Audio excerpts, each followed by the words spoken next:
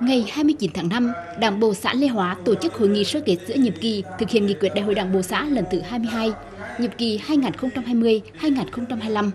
Dự và chỉ đạo hội nghị có đồng chí Bùi Thanh Chuyên, Phó Bí thư Thường trực huyện ủy, Chủ tịch Hội đồng nhân dân huyện, các đồng chí trong ban thường vụ huyện ủy, đồng chí huyện ủy viên phụ trách xã, lãnh đạo các ban đảng và văn phòng huyện ủy.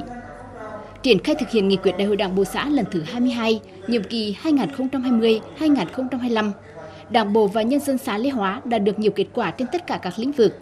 Kinh tế tiếp tục tăng trưởng khá, cơ cấu kinh tế chuyển dịch đúng hướng. Tốc độ tăng trưởng kinh tế bình quân trong 3 năm đạt 9,96%. Thu nhập bình quân đầu người năm 2022 đạt 40,4 triệu đồng, tăng 13,4 triệu đồng so với đầu nhiệm kỳ. Nét nổi bật là xã đã tập trung phát triển nông nghiệp theo hướng sản xuất hàng hóa, đẩy mạnh thực hiện các chương trình, đề án của huyện và khâu đột phá của xã. Chuyển đổi cơ cấu cây trồng, vật nuôi, ứng dụng khoa học kỹ thuật vào sản xuất, vì vậy, năng suất, sản lượng và giá trị sản xuất hàng năm đều đạt và vượt kế hoạch đề ra. Thu ngân sách trên địa bàn từ 2020 đến 2022 đạt hơn 1,5 tỷ đồng, đạt 143% so với nghị quyết đề ra. Cơ sở hạ tầng được đầu tư khá đồng bộ, tỷ lệ đường giao thông được cứng hóa, bê tông hóa trên 78%. Lĩnh vực văn hóa, xã hội có nhiều chuyển biến tích cực. Đến nay, xã đã hoàn thành phổ cập giáo dục mầm non cho trẻ 5 tuổi phổ cập giáo dục xóa mù chữ mức độ 2, phổ cập giáo dục tiểu học, trung học cơ sở đạt mức độ 3. 3 trên 3 trường học đạt chuẩn quốc gia mức độ 1, duy trì xã đạt chuẩn quốc gia về y tế. Trên 80% hộ gia đình đạt gia đình văn hóa, tỷ lệ hộ nghèo còn 10,08%. Các chính sách an sinh xã hội được thực hiện có hiệu quả.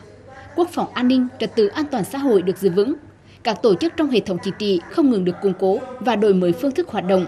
Năng lực lãnh đạo, sức chiến đấu của tổ chức đảng được nâng lên, đội ngũ cán bộ đảng viên ngày càng được nâng cao về chất lượng. Đảng bộ 3 năm liền được công nhận hoàn thành tốt nhiệm vụ.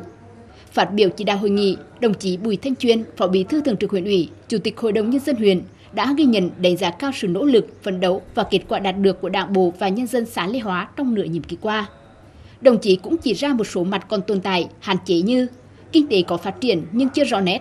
xã chưa có sản phẩm ô cóp, một số chỉ tiêu đạt còn thấp so với nghị quyết và mức bình quân chung của huyện tỷ lệ hộ nghèo còn cao, công tác xây dựng đảng, xây dựng hệ thống chính trị có mặt còn hạn chế. Về nhiệm vụ trong thời gian tới, đồng chí đề nghị xã tiếp tục rà soát các chỉ tiêu để tập trung lãnh đạo, chỉ đạo thực hiện đạt kết quả cao, nhất là các chỉ tiêu chưa đạt và đạt thấp so với nghị quyết. Đẩy mạnh phát triển nông nghiệp theo chiều sâu, phát huy tiềm năng lợi thế về địa lý để phát triển công nghiệp, tiểu thủ công nghiệp, thương mại và dịch vụ. Tăng cường công tác quản lý, bảo vệ và phát triển rừng, huy động mọi nguồn lực để đầu tư xây dựng kết cấu hạ tầng, xây dựng nông thôn mới, tiếp tục quan tâm lĩnh vực văn hóa, giáo dục, y tế, giải quyết việc làm, đảm bảo an ninh chính trị, trật tự an toàn xã hội, tăng cường công tác xây dựng chỉnh đốn đảng và hệ thống chính trị, nâng cao hiệu lực, hiệu quả quản lý, điều hành của chính quyền, phát huy vai trò của mặt trận và các đoàn thể trong tuyên truyền, vận động, tập hợp nhân dân, tạo sự đồng thuận xã hội, quyết tâm thực hiện thắng lợi các mục tiêu, chỉ tiêu mà nghị quyết đại hội đảng bộ đã đề ra.